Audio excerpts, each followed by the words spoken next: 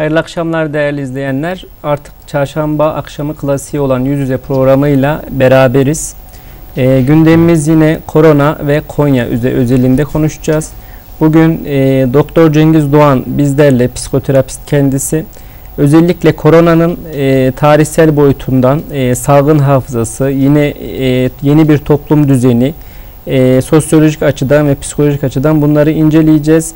E, gazeteci dostum İbrahim Çekçi ile birlikte özellikle Konya sokaklarında neler oluyor, e, koronaya yeterince e, halk e, tedbir alıyor mu, önem gösteriliyor mu? Bunun yanında e, tarım ve üretimin devamıyla ilgili süreç nedir, ne değildir bunları konuşacağız. Biliyorsunuz e, bizden önce Sağlık Bakanımız e, ekranlarda son vakaları, son durumları açıkladı. Maalesef Konya e, ilk dörtte İstanbul, Ankara, e, işte İzmir'den sonra ilk dörtte 584 e, pozitif vaka var. Resmi rakamlara göre 7 e, ölüm var. Bugün yine e, 63 ölümle birlikte toplam 277 e, vefat sayımız var tüm Türkiye'de. E, Tabi izleyenlerimiz e, özellikle e, bizleri takip edenler soruyor e, bu vakalar niçin Konya'da daha fazla diye. Biliyorsunuz e, Konya e, karantina bölgesi oldu. Birçok hacı, birçok umreci e, Konya'da karantina altına alındı. Bu vesileyle hastanelerimiz biraz yoğun, pozitif vaka sayısı fazla. E, inşallah kısa sürede atlatalım diyoruz ve ben ilk olarak Cengiz Doğan hocama, Doktor Cengiz Doğan hocama dönmek istiyorum. Hocam özellikle enfeksiyon uzmanları, halk sağlığı uzmanları hani bu işin her boyutu konuşuluyor. Yani e, nasıl oldu, nereden geldi, neler yapıldı ama e, biz bu işin biraz da tarihsel boyutunu da merak ediyoruz. Yani bu korona veya korona özelinde demeyeyim de bu salgınlar yani dünya tarihinde her zaman yer alan şeyler. Bir salgın hafızası nedir dünyanın? Buradan başlayalım. Ee, akabinde e, farklı şekilde ilerleriz diye e, düşünüyorum hocam. Buyurun.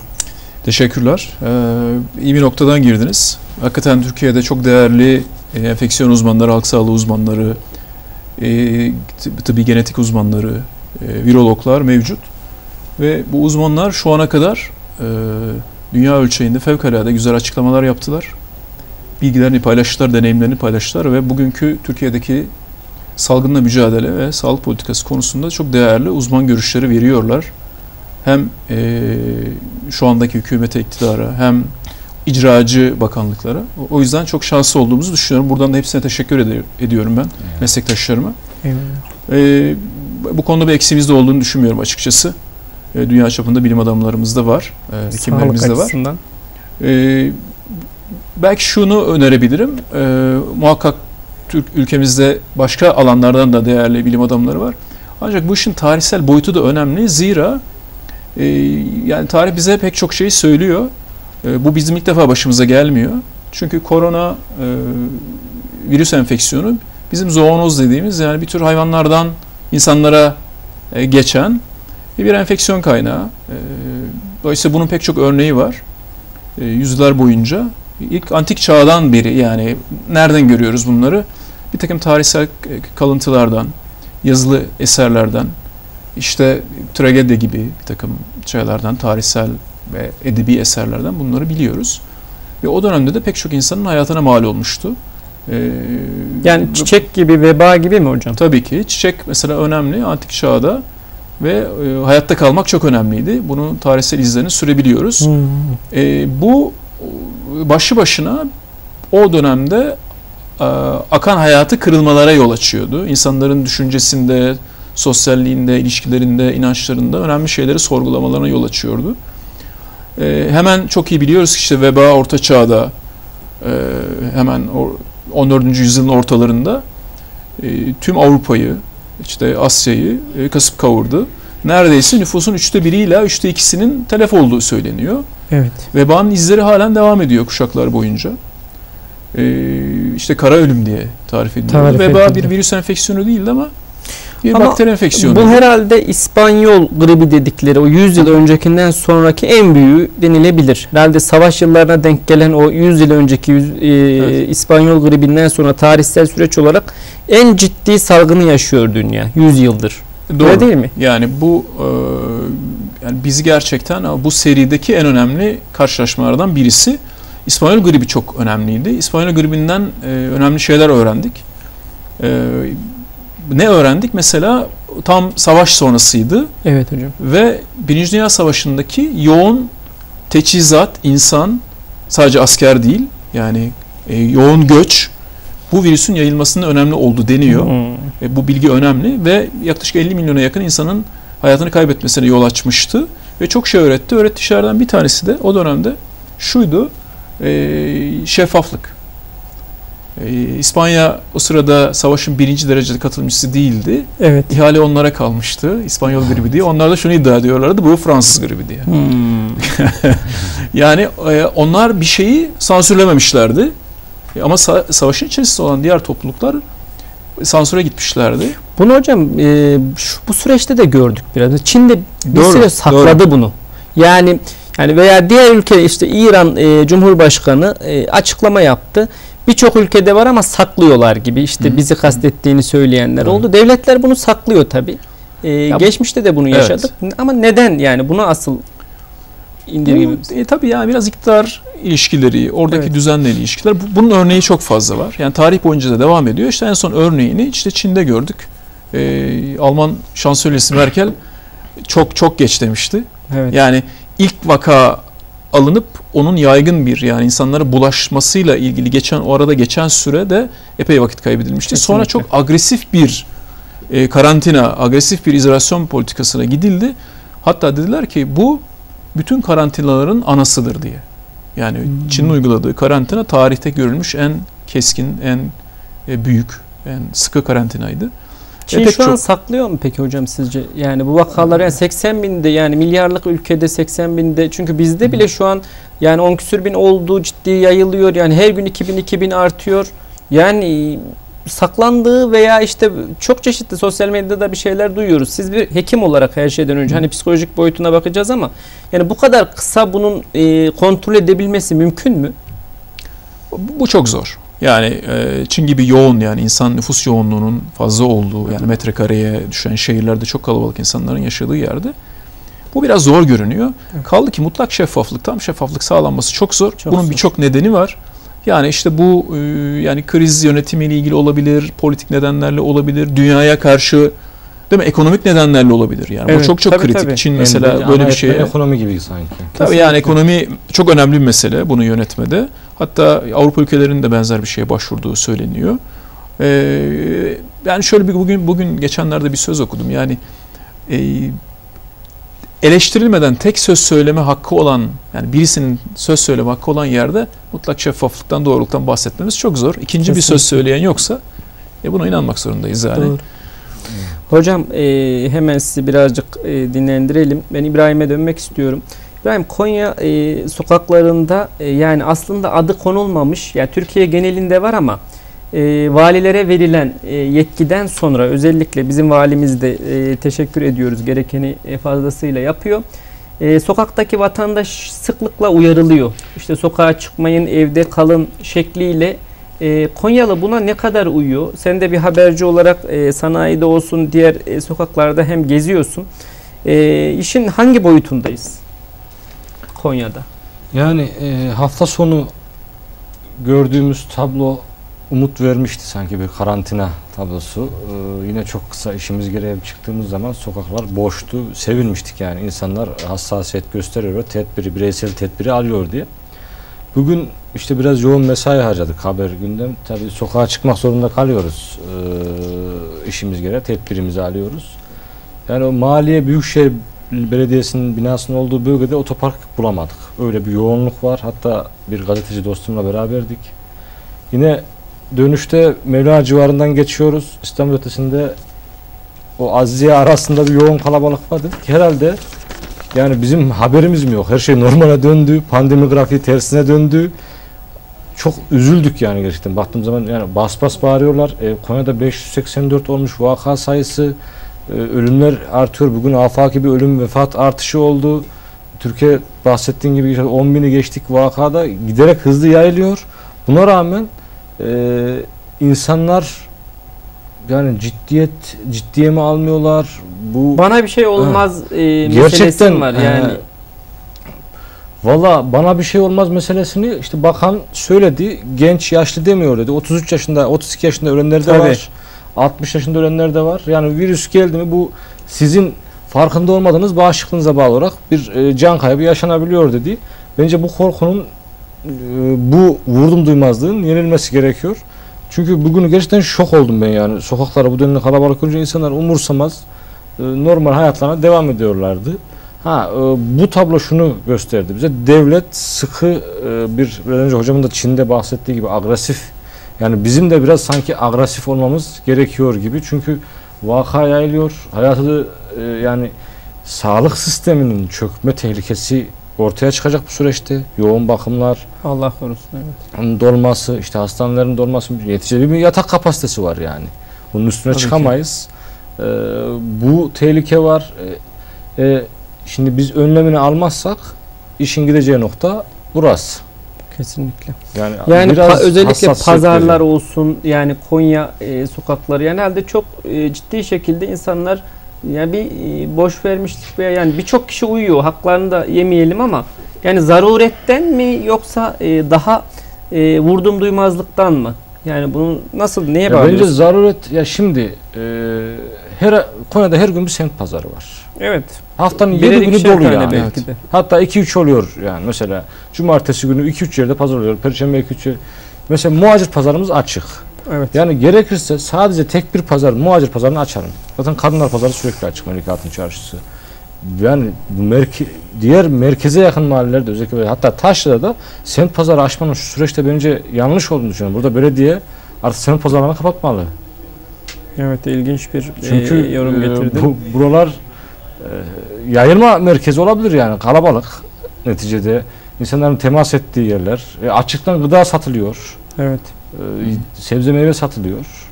Siz Orada yani hocam daha e, ama tam hocama döneyim hem bir pas vermiş gibi Hı olsun. Hocam bu e, şimdi sebze meyveyi alıyoruz.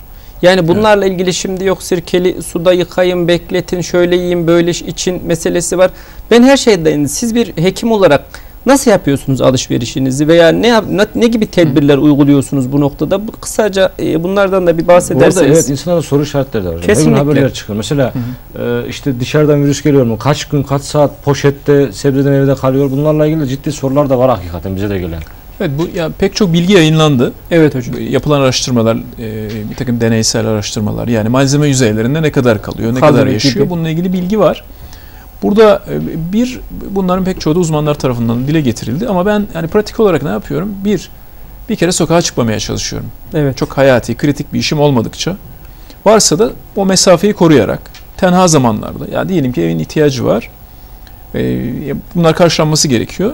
Sakin zamanlarda mesafeyi koruyarak tenha noktalardan giderek kişisel korunma tedbirlerine dikkat ederek yani maskeye ihtiyacı varsa özellikle kalabalığa gireceğimde maskeyi takarak işte bir şeylere temas edeceksem e, bazen bazı işte marketler, manavlar, eldiven vesaire gibi şeyleri rica ediyorlar. Bazen Evet. bunlara da uyarak ama çok da hani tasvip etmediğimi söyleyeyim.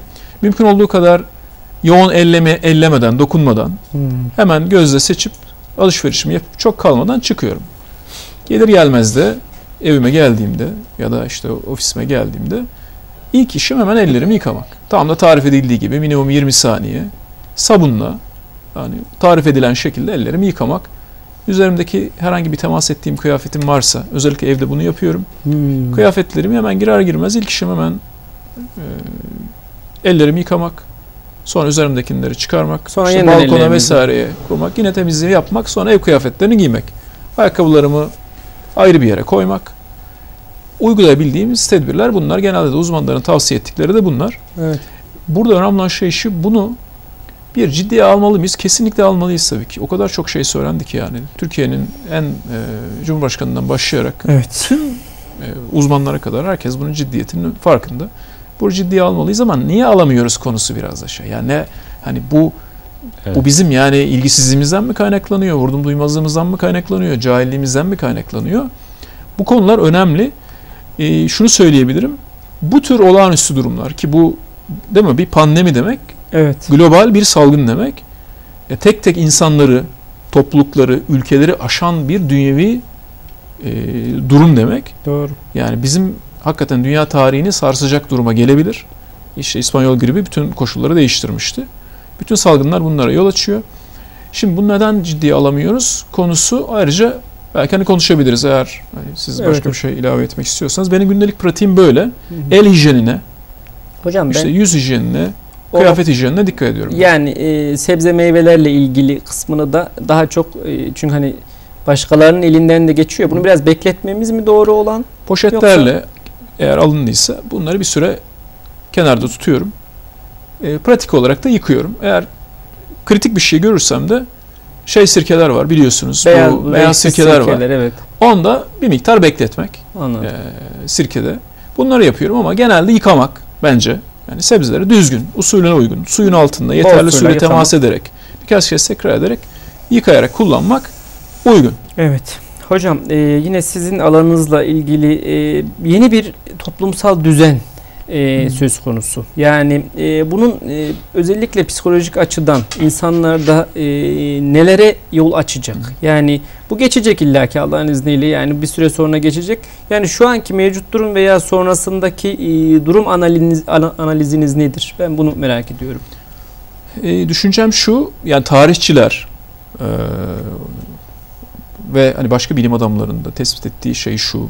Bu e, insanlık çok önemli olaylarla e, bir çeşit sınama yaşıyor, sınanma yaşıyor. Bunlar neler? Bir, savaşlar.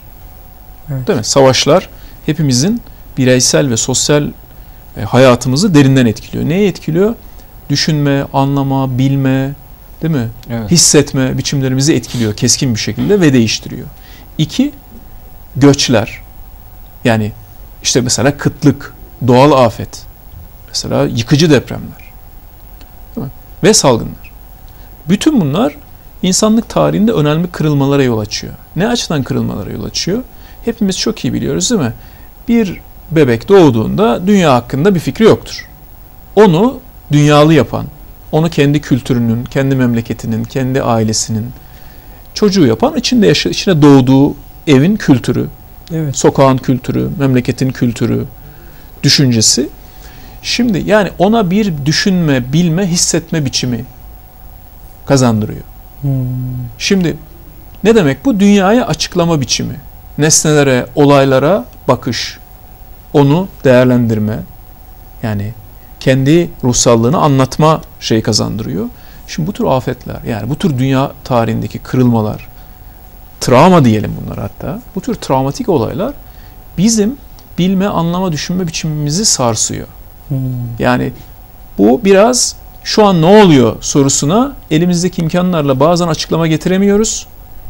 O zaman işte bu bizim hem sosyal, kolektif alanımızda hem de bireysel olarak iç dünyamızda, ruhsallığımızda, psikolojimizde önemli şeylere yol açıyor. Bugün değil mi, hepimiz biliyoruz popüler şey neydi? E, Dünya genel olarak önce depresyon e, periyoduna işte 1970'lerin sonu 80'ler gibi dünya depresyon çağı gibi düşünüldü. Hatta Prozac falan diye ticari bir isim verdim ama kitaplar yazıldığı için söylüyorum. Bir antidepresan ismiyle konuldu depresyon çağı.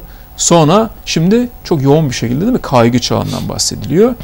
Tarihçiler, antropologlar, sosyologlar, e, psikologlar, psikanalistlerin tartıştığı şeylerden bir tanesi şu.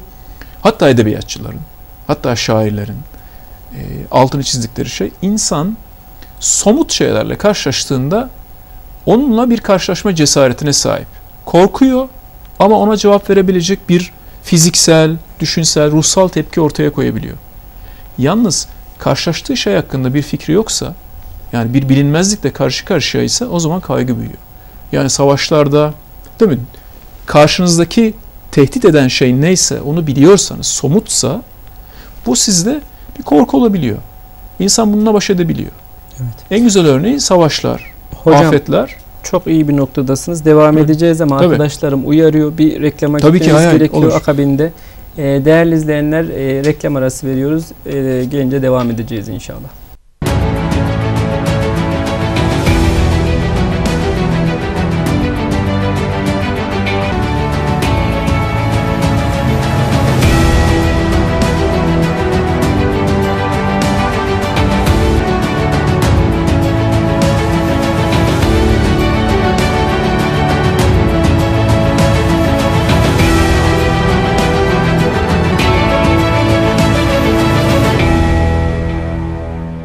Değerli izleyenler, e, yüz yüze de tekrar beraberiz.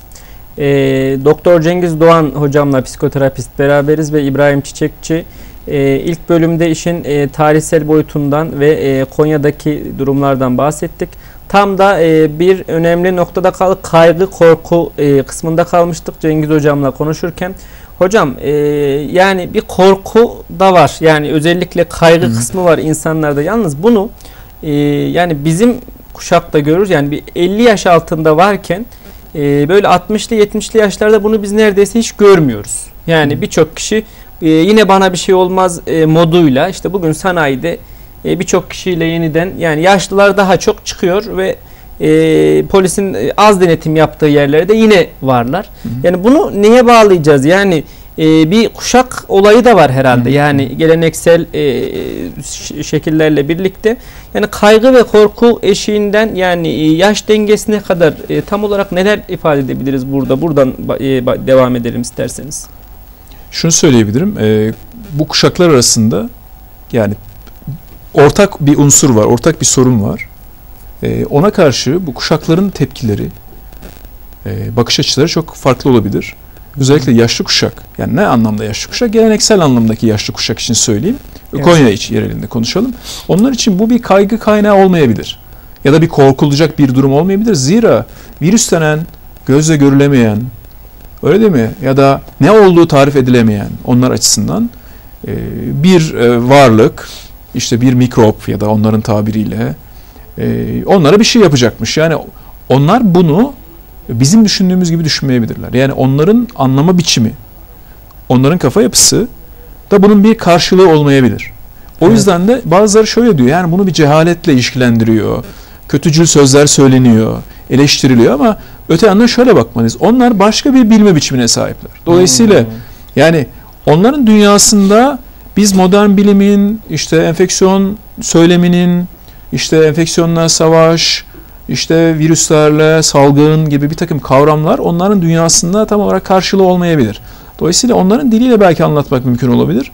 Biraz anlamanın farklı olması, bilme biçiminin farklı olmasına kaynaklandığını düşünüyorum. Dolayısıyla Yani- bu kaygı ve korkunun da ortaya çıkışını belirliyor. Evet öyle yaşlılarımıza hani saygısızlık yapalım diye demiyorum hocam. Hani Hı. bazı sosyal medyada da Evet. birçok şey çıktı. Ya bunları tasvip etmiyoruz ama onlar da inatla e, yani gerçekten sizin de e, buyurduğunuz gibi bize bir şey olmaz yani farklı bir eşikteler. Yani anlamıyorlar bunu. Hı, E, hı, bir e, A- ağabeyle yine is- istişare ederken yani onlara o hal ilan etmezseniz veya işte sokağa çıkmak sıkı tedbirler, sıkı adını koymazsanız sonuç almanız çok zor demişti. Yani herkesin o anlama dili hakikaten hani bize e, adını koymuyorlar. Yani bir çeşit sıkı yönetim var nerede buna benzer bir şey var. Yani adı koyulmuyor ama biz kendi evimizde ne diyor Bakan Bey? Herkes kendi sıkı yönetimini ilan Evet. etsin buna göre çalışsın. Bunu demeye çalışıyorum. Ama bir bakıyoruz öteki tarafta onlar hakikaten çok e, önemsemiyor. Yani korkmuyorlar mı hocam? Yani kaygı eşikleri Ben yüksek? korkmadıklarını düşünüyorum, kaygılanmadıklarını düşünüyorum. Çünkü karşısında neyle karşı karşıya olduklarına dair bizim zihnimizdeki olan bir şey onların zihninde yok. Çünkü insan Hmm. neden korkar? Değil mi? İnsanın korkması Tabii, için bir kere bu korkulacak bir şey demesi lazım. Yani, Evet. değil mi? Anlamaz. Onu müşahhas hale getirmesi gerekiyor. İnsan neden kaygılanır? Yani kaygıya da bir tür korku Doğru. gibi bakabiliriz. Bizi saran bir şey ama kaygı genelde bilmediğimiz bir şeydir. Yani bilmediğimiz bir şeydir ki bugün işte koronavirüsle e, ortaya çıkan, koronavirüs salgınıyla ortaya çıkan özellikle şehirli toplumda, eğitimli topluluklarda, organize topluluklarda ortaya çıkan şey kaygı, yoğun kaygı bozukluğu. İşte Evet. bunu ne olarak görüyoruz? Panik bozukluklar olarak görüyoruz ya da işte panik atak diye tarif edilen onun bir alt şubesi gibi. İşte bu tür şeyleri görüyoruz. Genelde kaygının tezahür etmesi gibi ortaya çıkıyor. Ee, şunu diyebiliriz. bir- Birçok psikolojik problem aslında bizim kaygıya verdi yani kaygılanmaya verdiğimiz bir cevaptır yani. Hmm. Neler ortaya çıkıyor? Mesela daha önce psikolojik problemleri olanlar, psikolojik bozuklukları olanlar bazıları mesela bu dönemde alevlenebilir. Neler oluyor mesela? İşte takıntılı bozukluklar, işte obsesif kompulsif bozukluk gibi mesela. Bunlar alevlenebilir. Diyelim ki mikrop takıntısı var, kir takıntısı var. İşte bir yandan da sürekli temizlik yapması gerekiyor. Hmm. E şimdi bu insanların halini düşünün mesela çok alevlenebilir. Daha önce böyle bir atak geçirmiş ya da böyle bir bozukluk geçirmiş ama işte gerek ilaç tedavisi gerekse işte psikoterapiyle e, belli bir e, işte şeye gelmiş, iyileşmeye gelmiş, iyilik haline gelmiş. Ama bu kişilerde mesela alevlenebilir. Yani bunu genel olarak kaygı bozukluklarının artmasına bağlıyoruz. Korkunun olması belki bir yandan da şöyle diyebiliriz. Yani korku olması aslında bizim aksiyona geçmemiz için olumlu bir şey. Evet. Çünkü ben bir şeyden korkuyorum. Neden korkuyorum? Koronavirüsten korkuyorum. Koronavirüs enfeksiyonundan korkuyorum. Ben ölmekten korkuyorum. Başkalarına bulaştırmaktan bir takım işte vicdani şeyler hissediyorum. Başka insanların zarar görmesinden endişe ediyorum, korku, korkuyorum gibi tanımlar, tarifler olumlu bakabiliriz. Zira benim eylememe geçmeme sebep oluyor. Mesela işte güvenlik tedbirlerini, yani enfeksiyon kontrolüne yönelik tedbirlere uymamı, söylenenleri dikkate almamı kolaylaştırıyor olabilir. Ama kaygıda biraz daha şey görüyoruz yani kaygılanıyorum ama yani bunu endişeden biraz ayırmak gerekiyor. Endişe Hmm. biraz daha hani yarın ne olacak gibi hani basit şeyler açısından söyleyelim. Ama kaygı daha çok böyle benim bilmediğim bir şey. Yani beni saran değil mi? İşte Evet. bir acile başvuran, kardiyolojiye başvuran ben ölüyorum, bana bir şey oluyor diye. İnsanlar yani kaygı duyduğu için işte hocam gidiyor gıda stoğu yapabiliyor. İşte Hı, hı. onun yanında e, daha farklı davranışlar sergileyebiliyor. Ama e, yani toplumun e, tamamına bunu e, yayamadığımızda işte yani bu iş hızlı daha hızlı yer alıyor. Yani sıkıntı en çok e, buradan kaynaklanıyor. Demek ki e, sizin de bahsettiğiniz gibi tarihsel boyutta yani yaşamadığı için yaşlılar bu gibi şeyleri çok da görülmediği için haliyle e, çok ciddiye almıyorlar veya almak istemiyorlar şu süreçte. Ben neyle tık karşı karşıya oldukları konusunda işte bunun yol açacağı zararlar konusunda e, bizim baktığımız yerden bakamadıkları için olduğunu Doğru düşünüyorum. Ee, belki şunu da söylemek lazım. Bu tür olaylar yani ne olaylar işte bahsettik. Göçler, salgınlar, savaşlar, doğal afetler bir toplumun e, gerçekte ölçemeyeceğimiz şekilde onların ortalama algısı, kolektif davranış biçimleri, sosyallikleri, psikolojileri hakkında çok önemli fikirler verir bize. Ortalamayı gösterir aslında. Bence Türkiye'nin kendisinin fotoğrafını çekebilmesi açısından da bu e, salgınlar önemli bir fırsat olduğunu düşünüyorum. Yani fırsat dediğim bu tabii ki insanların kontrolü çıkardıkları bir şey değil yani hani speküle edildi işte değil mi? Bir takım komplo teorileri Evet. kuruldu. Ama bize çok önemli bir şey söylüyor. Biz böyle bir durumda karşı karşıya kaldığımızda Türkiye ortalaması nasıl gerçekleşiyor değil mi? Evet. Köylere göre, şehirlere göre, kalabalık şehirlere göre insanlar nasıl davranıyor? Nasıl organize oluyorlar? Ne kadar farkındalar? Ne kadar ciddiye alıyorlar? E, bunu şuraya bağlayacağım. E, dünyadaki şu anda hakim algı, ben de e, yıllar önce e, bu hatırlarsanız domuz gribi, kuş Evet gribi gibi, işte avian 2010, flu, swine 2010. flu gibi tarif edilen şeylerde ki uluslararası çabaların içerisinde yönetici olarak bulundum. Yani bu tür pandemilere nasıl cevap verilecek? Şunu biliyoruz. Bugünkü dünyada genel davranış modeli şöyledir. Krize müdahale şeklindedir. Yani bir kriz çıkacak. Biz o krize müdahale edeceğiz ve buna da aşı, ilaç vesaire gibi tedbirlerle cevap vereceğiz değil mi? Şu ana kadar gördüğümüz 3 tane şey gördük. Evet. Yani koronavirüs ailesiyle 2002, 2012, 2019. Değil mi? SARS, MERS vesaire geldi. Benzer şeyleri yaşadık. Ee, fakat bazı uzmanlar şöyle diyor. Ya bu kriz tamam bu krizi yönetme konusu. Yani pandemiye cevap verme konusundaki kriz yönetme becerilerimiz harika geliştirelim. Değil mi? Bunları Hı. ilerletelim ama öte yandan başka bir şey daha sormak lazım. Bizi krize götüren şeyler nedir? Değil mi? Hmm. Daha daha sosyolojik, ondan sonra daha düzene dair, değil mi? Daha yaşama biçimlerine dair, daha üretim biçimlerine dair, daha bilimi, değil mi? Üretimi, endüstrileşmeyi, e, kolektif hayatı sorgulamamızı gerektirecek şeyler olabilir. Evet. Yani biz hep kriz çıksın ve bu krize müdahale edelim. Krizi bazen Evet, işte birileri böyle fırsata bakıyoruz. çevirsin. Birileri bu fırsat illa maddi bir fırsat olması gerekmiyor. Değil mi? Siyasi fırsatlar olabilir. Dünyada güç dengelerinin değişmesi olabilir. Ee, belki buna işte bu kriz öncesi modelleri de devreye sokarak bir çalışma yapmak gerekebilir diyorlar. Böyle Evet. söyleyeyim. Hocam e, ben İbrahim'e dönmek istiyorum. İbrahim e, özellikle üretimin devamı, işin e, tarımsal boyuttaki süreç yani şimdi Nisan ayına geldik. E, çiftçilerin e, tarlada olması gerekiyor. Yani bununla birlikte e, geçtiğimiz haftalarda çok konuştuk.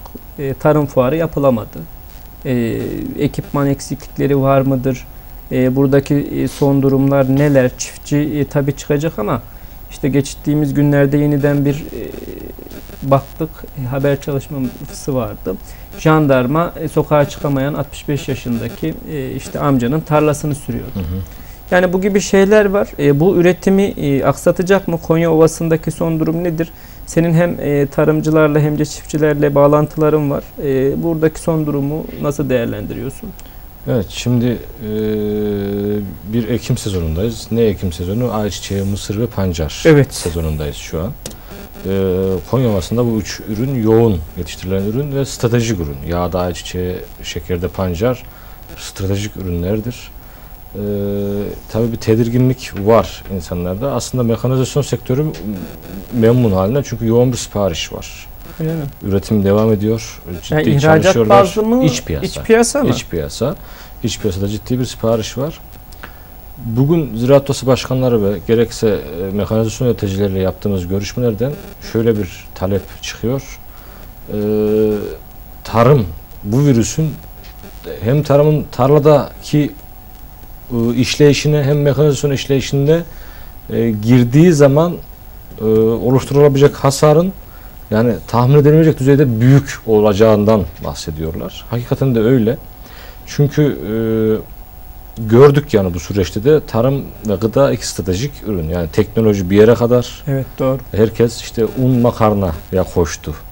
E, gıda stokladı. Tarım ve Kesinlikle. e, ne En kadar stratejik gıda. olduğunu ve Konya'da burada işte 2 milyon 100 bin tonluk bir hububat üretiminde Türkiye'de lider şehir. Burada alınacak en önemli şey tarım, bu virüsün tarım işçilerinde ve çiftçilerde sıkı tedbirlerle yayılmasını engellemek, onları üretim gardından düşürmemek yani. Hmm. Bu çok önemli. Peki mevsimlik işçiler gelebilecek mi? Ne işte durumda? en büyük sıkıntı orada. Tabii şu an gelemiyorlar.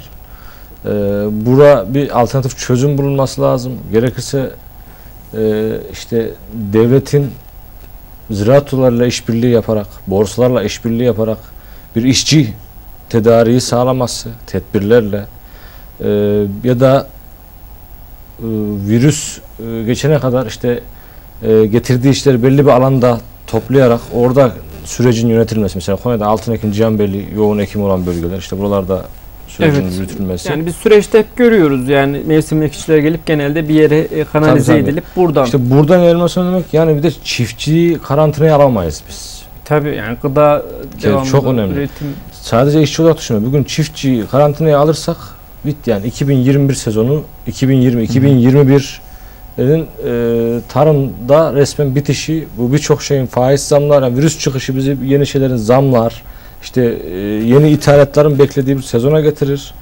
Burada talep çiftçinin üretmesi için gereken destek, desteğin verilmesi, mekanizasyon sektörünün işleyişinde alınan tedbirlerle beraber üretimin devam etmesi şu an elzem iki konu. Burada bir önemli nokta var. Ee, şöyle söyleyelim. Geçen hafta mücbir sebepler açıklandı Evet. devlet tarafından. İşte perakende sektörü, sanayi, ticaret, turizm, taşıma, kargo, baskı birçok sektör mücbir sebep içerisine girerek işte bunların kredi borçları, vergi afla, vergi ertelemeleri gibi birçok bunlara e, alternatif yani kolaylık sunuldu. Fakat tarım ve gıda mücbir sebepte yer almadı. Bu son derece düşündürücü ve üzücü çift tarafından. Buradan hükümetin acil yeni bir eylem planıyla hatta tarıma pozitif de ayrımcılık göstererek mücbir sebebi alınması gerektiğini e, birçok e, çiftçimiz bekliyor. Çünkü çiftçinin borcunun ertelemesi lazım bu süreçte. Evet. Çiftçinin e, işte kredisinin ödeyişinin kolaylaştırılması lazım. Yani tarım ve gıdayı ayakta tutarsak, tarım ve gıdayı bu süreçte e, üretimini sürdürülebilir hale getirirsek virüsten sonraki süreçte yaraların ım, sarılması daha kolay olur. Tarıma dayalı bir ihracat, tarıma dayalı yani iç piyasada bir gıda e, tedariğinde eksiklik yaşamazsak bu virüsün ekonomik e, yaraların sarılmasında en büyük merhem tarım ve gıda olacaktır. Evet çok iyi bir yerden e, şey yaptın. Biz bize yeteriz Tabii. kampanyası başlattı Sayın Cumhurbaşkanımız. E, güzel şekilde de devam ediyor. Geliyor.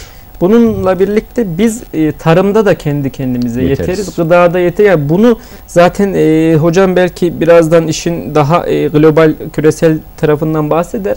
e, yani biz özellikle kendimize yeten bir ülke olmamızla her zaman övünürüz ki hububatta değil mi %90'ların üzerinde şu Tabii anda. ya Bunun- şu an bizim en büyük şansımız o zaten. Ee, işte bakliyat, hububat bu ürüne de kendimize yetebildiğimiz için bugün panik havasına girmemizin belki de en büyük nedenleri de bu. Ürün stoğumuz var. İnsanlar böyle bir şey yani Avrupa'da görüşüyoruz işte kaos oldu diyorlar. Ee, şimdi herkes bu süreçte kendini düşünür yani. Bak bakan ne dedi? İhracatı du- durdurduk dedi maskede ve medikal Tabii ki. ürünlerde. Çünkü olması gereken de bu. Önce kendi halkımız. E yarın sıkıntıya girdiğimiz zaman biz un ihraç etmeyiz. İşte ne bileyim diğer bakliyat, fasulye, nohut, bakliyat ürünlerini ihraç etmeyiz ve önce kendi halkımız için düşünürüz ve kendimize yetebiliriz. Bizim için en büyük avantaj olacak bu süreçte yani. O yüzden e, tarım ve gıda acil mücbir sebep içerisine alınmalı. E, ve üretimin devamı sağlanmalı. Yani çiftçiyi e, tavsiyeler ve tedbirlerle bu yıl daha fazla ve daha nitelikli e, ürün ekmesi yönünde teşvik etmemiz gerekiyor karantinaya almadan. En büyük şey o. Yoksa daha farklı. Hocam ben yeniden e, size dönmek istiyorum. Yani yeni bir toplumsal düzen dedik. Hı. Yani bu işin e, mutlaka e, hani sağlık sizin alanınızla ilgili çok şey konuşulduğu alan uzmanları Evet. var ama ben biraz daha sizin de e, hani farklı ve derin düşünceleriniz olduğunu biliyorum. Yani küresel ölçekte yani global dünya böyle bir şeye zorlanıyor mu? Yani e, yani bir düzen değişikliği için e, yani nasıl komple teorilerini çokça dinliyoruz. Yani Evet. farklı şeyler de var ama yeni dijital düzen deniliyor mesela. Hı. Yani gıda ve işte e, biyometrik çipten bahsediliyor. Bir sürü farklı bu konulardaki bakış açınız nasıl? Yani siz bunu e, düz bir e, yayılma olarak yani dünyanın işte 100 yılda bir başına gelebilen bir olay olarak mı Hı. görüyorsunuz? Yoksa gerçekten birileri insanlıkla oynuyor mu? Ya ben çok komple teorilerinden anlayan birisi değilim. O konuda Evet. da yani çalışan da birisi değilim. Açıkçası kişisel olarak da yani bu konuda çok kafa yormuyorum ben. Evet. Ee, ama şunu söyleyebiliriz. Ee, Althusser'ın bir lafı var. Der ki yani kapitalizm yüzüne fırlatılan zehri bir ilaç yapıp geri satma kapasitesine sahiptir der. Evet. Mesela şöyle bakalım. Ee, ya bu kime yarar? Yani, Yani. bu bu kırılmalardan hani bahsettik ya dünyadaki bu kırılmalar değil mi? Savaşlar, afetler, salgınlar nasıl bir düzen çıkaracak? Şimdi görünen şu. Bu var olan şu anda bütün dünyaya hani birbirine bağlayan ekonomik anlamda, ilişkiler anlamında değil mi? Evet. Dijitalleşme anlamında bütün dünyayı birbirine bağlayan e, bir önceki versiyonun iptal edilip yerine ikinci bir başka bir versiyonun Evet yani gelmesini kolaylaştırabilir. Kesinlikle. Böyle düşünüyoruz. Bu kendi kendine yeterlilik meselelerini çok önemsiyorum ben de. Yani bu sadece tarımda değil birçok konuda yani değil mi en küçük çekirdekte aile çekirdeğinden tutun da yani kendi kendine yeterlilik meselelerini düşünmemiz gerekiyor tekrar. Yani kriz olmadan düşünmemiz gerekiyor. Yani yeni bir düzen ortaya çıkar mı? Kesinlikle çıkar. Ben bunun şu anda mesela bunu bir kapitalist söylemin kendi kendisini sınaması ve güçlendirmesine yarar diye düşünüyorum. Şu açıdan düşünüyorum. Şimdi bakın Orta Çağ'dan başladık değil mi? Hatta Evet. Antik Çağ'dan e, başlayabiliriz. İşte çiçekti, e, vebaydı, sonra bir veba atağıydı, İspanyol gribiydi vesaireydi. Ne görüyoruz? Ee, biz e, Orta Çağ'da özellikle ve daha sonra İspanyol gribinin insanlar hayatları zorlaştıklarında değil mi, bir şeye başvuruyorlar. Neye başvuruyorlar? İşte inanç düzlemine kayıyorlar, evet. başka şekilde açıklamaya çalışıyorlar. Daha mitolojik, hatta daha paranoyak şeyler düşünmeye başlıyorlar. Şimdi mesela bugün Türkiye'de olan, işte Konya'da olan, biz başımıza gelen bu şeyi, bu salgını nasıl açıklıyoruz? Değil mi? evet. Mesela şunu görüyoruz. Daha değil mi? Tamamen bilimsel yöntemlerle, daha ölçülebilir yöntemlerle açıklayacağız. Açıklayalım ama bu göreceli olarak neye yol açıyor? Başka düşüncelerin, başka inançların artık kullanılamaz hale gelmesine yol açıyor. Hmm. Bu dünyadaki düşünce, anlayış, inanç çeşitliliğini azaltabilir. Peki şimdi bu tartışmalı bir konu tabii ki. Tabii. Ama neye yol açar? Ben meselenin psikolojik ve psikososyal olarak bunu algılayalım. E, düşünelim bunu. Bu şuna yol açar. İnsan temsil getirme yani dünyayı anlama kapasitesi kadar dünyada ayaklarını yere basar. Eğer insanların elinden sahip oldukları yani kafalarından bu dünyayı anlama kapasitelerini değiştirirseniz, temsil etme kapasitelerini değiştirirseniz o insanlar artık başka insan olurlar. Şimdi mesela bu olaya değil mi? Dini bir yönden bakan bir yaşlıya cahil diyeceğiz. O bakamayacak. İşte bu aynı şey Hristiyanların başına da gelmişti değil mi? Papa bunu acayip Evet. bir açıklama yapmıştı. Hatta kedileri öldürmüşlerdi falan. Evet hocam. Daha öncesinde buna bağlanır. Mesele bilimsel olarak tartışılabilir fakat ben psikososyal olarak, kültürel olarak bunlar neye yol açar? Hangi sisteme, hangi düzene?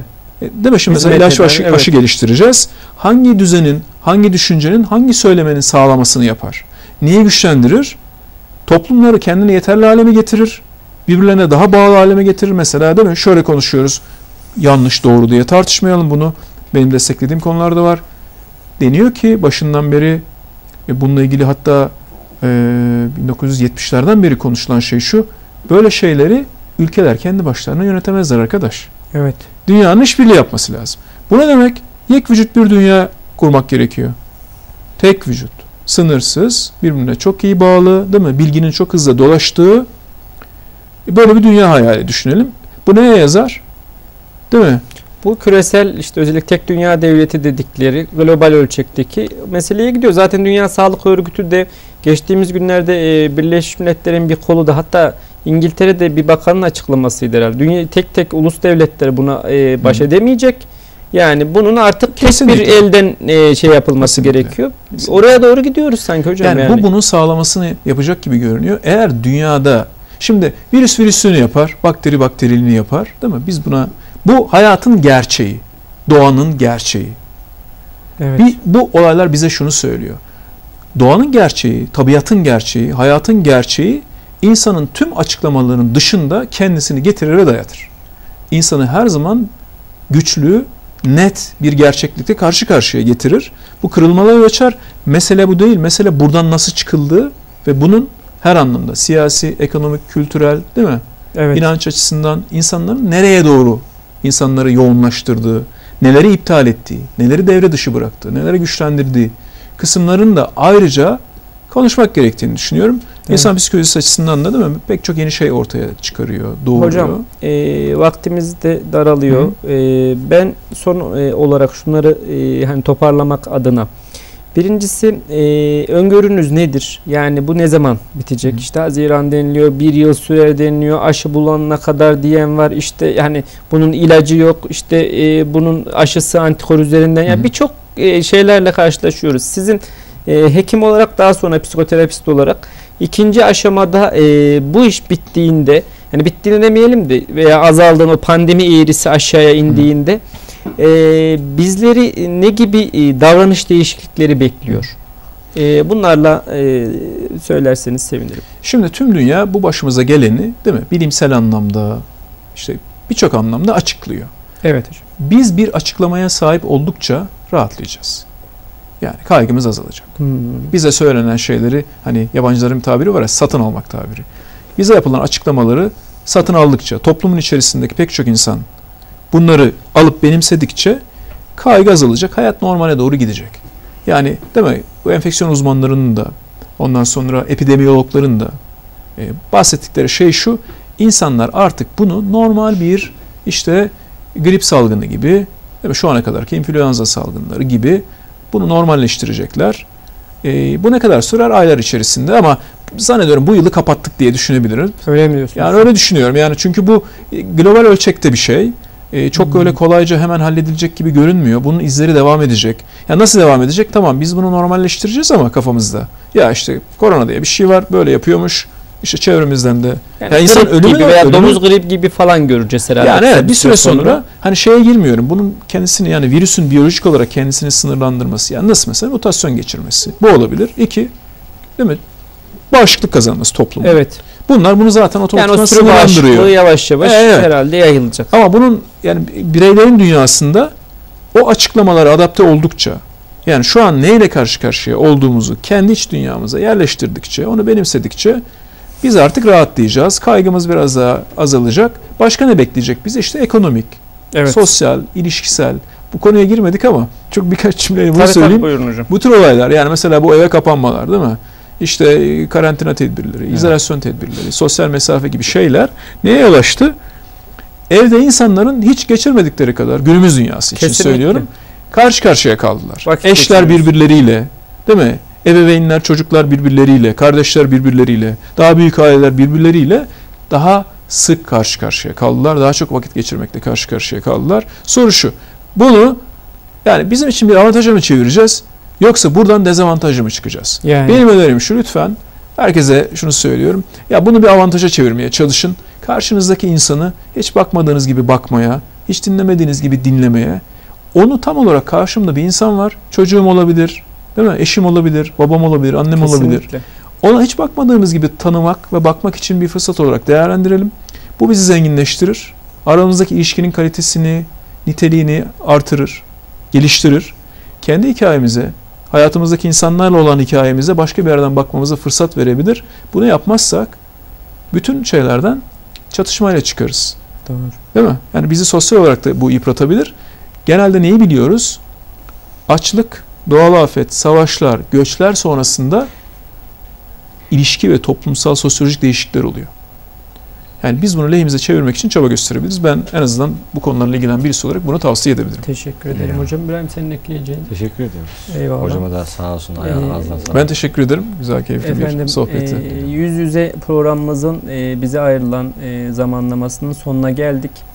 E, bugün e, Doktor Cengiz Doğan hocamla psikoterapist ve gazeteci dostum İbrahim Çiçekçi ile birlikte yine e, koronayı ve e, Konya ile ilgili süreçleri konuştuk. Biz çünkü hem yereli hem de e, genel olarak nedir ne değildir e, bunları e, tartışmaya çalışıyoruz. E, kendilerine çok teşekkür ediyorum. Bizleri izlediğiniz için, değerli vaktinizi ayırdığınız için sizlere de çok teşekkür ederiz. Hayırlı akşamlar dileriz efendim.